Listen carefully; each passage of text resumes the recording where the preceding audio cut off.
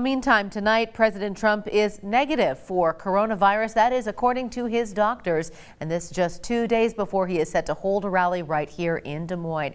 Local 5's Eva Anderson looks into the safety precautions the campaign says it's taking and how Des Moines leaders are reacting. Iowans have mixed emotions about President Trump coming to Iowa just weeks before the election and holding an in-person rally. One of you wrote, not a problem, mask up, and it's outside. Yet another wrote, he is a public health hazard.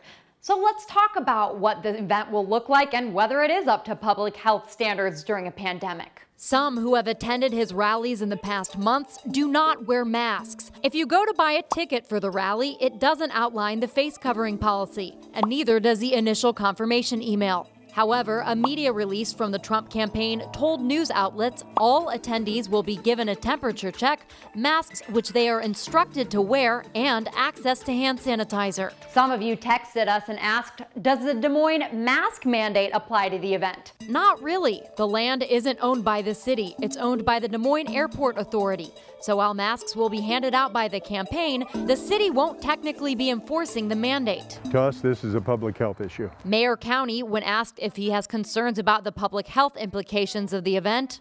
Obviously, because these are uh, often uh, central Iowa people that would be attending, and, and many of them probably Des Moines uh, folks.